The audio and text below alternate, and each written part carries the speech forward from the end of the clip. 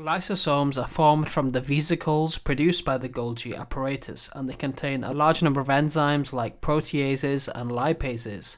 Um, they are about 1 micrometer in diameter and they can contain up to about 50 enzymes inside one single lysosome. It even contains various lysozymes which are used to hydrolyze the cell wall of certain bacteria.